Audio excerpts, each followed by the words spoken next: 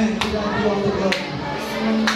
Let us pray, and as I pray, may I ask the Church of God, Bagutog, to come forward for you will lead us in giving. Church of God, Bagutog.